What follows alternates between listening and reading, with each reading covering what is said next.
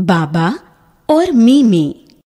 एक जंगल में बाबा बकरी और उसका मीमी मेमना रहता था। वे रोज पानी पीने नदी किनारे जाया करते थे।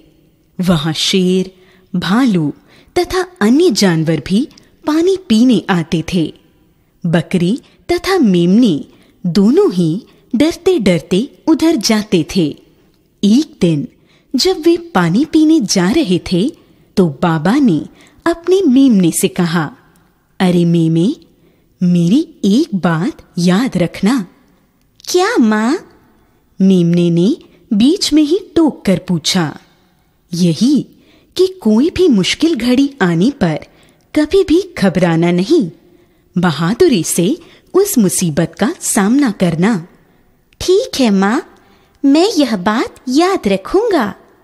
मीमी बोला दोनों नदी किनारे पहुंचकर पानी पीने लगे। तभी वहाँ पीछे से एक भालू आ गया। भालू ने कहा वाह आज तो पानी के साथ खाना भी यही मिल गया। बाबा और मीमी घबराकर सोचने लगे कि अब कैसे बचा जाए। मेमने को माँ की बात याद थी।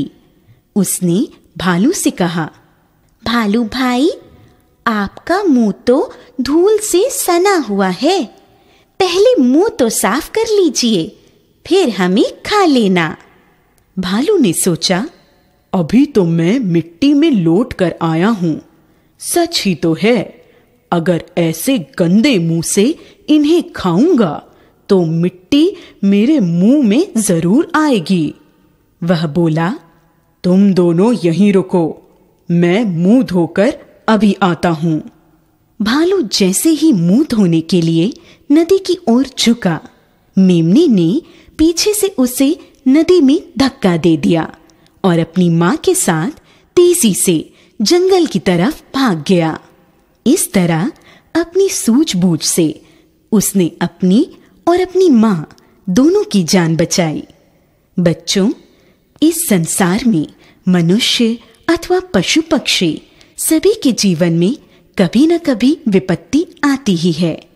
ऐसे मुश्किल समय में हमें हताश होकर धैर्य नहीं खोना चाहिए। हमें ऐसे मुश्किल समय में हिम्मत से उसका सामना करना चाहिए। यदि हम मुश्किलों का सामना हिम्मत और बुद्धि विवेक से करेंगे तो हमारी विजय अवश्य होगी।